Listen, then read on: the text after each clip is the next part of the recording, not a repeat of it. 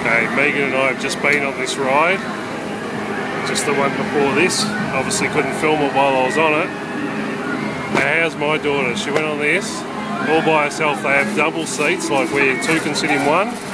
She wanted to sit by herself. Didn't scream, just laughed a little bit and loved it. Goes up pretty high. And we we're just having a good laugh on it. Loves it.